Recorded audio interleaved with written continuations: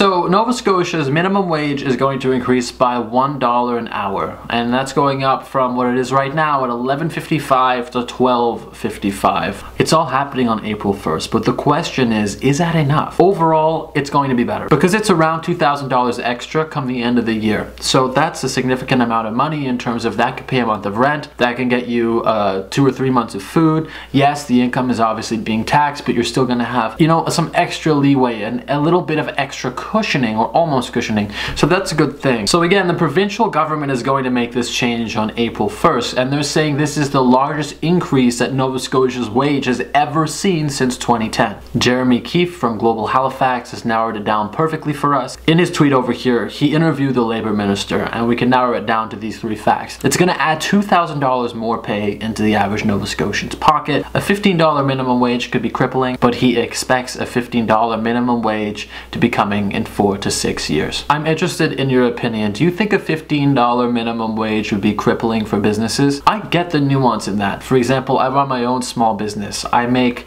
a, an okay income for somebody working for himself, but if I were to go and get a job, I would probably make more. There are some months where if my work volume isn't as high, I start to wonder if my expenses are too high this month, I'm gonna have to go into savings. Obviously, that's a lot better than somebody who is struggling and at the poverty line, but when I first started my business, it was like that. It was very difficult to be able to make monthly expenses. It was very difficult to just feel like a normal person. So if I wanted to expand or if I had something going on and if I wanted to hire even an assistant, paying them 15 would be crippling, especially if as a small business owner, I'm only, you know, back then making like 1200 a month how am i going to pay someone full-time for 15 so that's the biggest issue there so i understand it from that side but i think businesses that can afford it should invest in their workers like that. I think we should be striving for that. For example, as a small business, I should be striving to be able to pay that 15 if I could. I've read three to four news reports on this today, and each one of them quotes NDP leader Gary Burrill. And these are his points. He says, we're in a province that is the only one in Canada that has worsening child poverty. We've got the lowest median incomes in the whole country, and to counterpose the interest of the economy and the interest of those who need a $15 wages,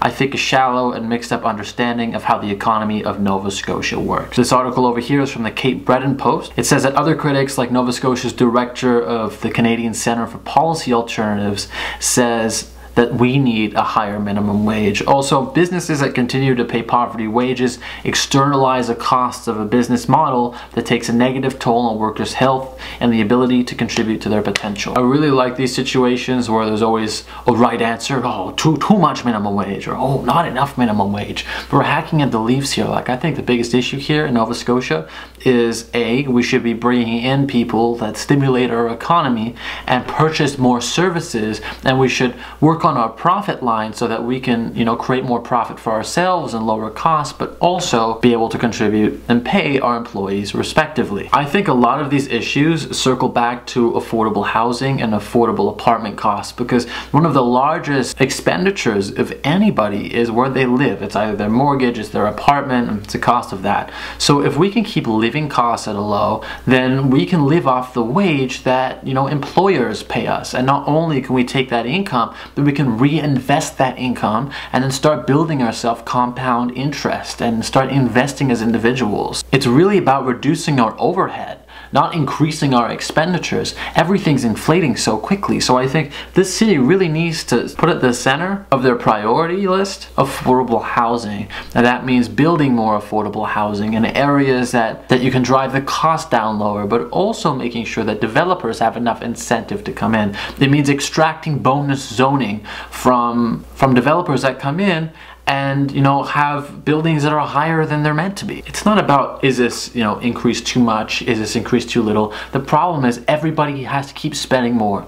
Employers have to keep spending more. Employees have to keep spending more. Let's reduce the overall cost of the city and then aggressively save what we're earning. The cost of everything is just far too high and if you're going to accommodate that cost then you should be doing things to stimulate our economy and bring new people in. I haven't seen a video from Nova Scotia Tourism in the past few years. What's happening on that front? So what I'm saying is I think there are so many different ways that we can contribute to not only bringing down costs in the city, but but opening up the city for strategic partnerships. And I want to talk a lot more about that and about what I think can be done. And when I go back to Halifax, one of my goals is to sit in on the city council meetings and then start putting a lot of this on my website. So right now I have my site running. You can check out the blog. I recommend it. I'm going to start writing and contributing more on that. There is no paywall. It is completely free. You can read everything and I answer all your questions generally within 24 hours. So I'd really appreciate if you check that out and give me some suggestions. What are some other issues in Nova Scotia that's important to you? What sort of legwork do you want me to do while you're at work and, and, and you want to learn more about our city? What are things that I can bring to you? Again, my name's Nader Nadernejad. I appreciate you watching this video and if there's any questions, let me know. Subscribe, smash the notification bell, and take care.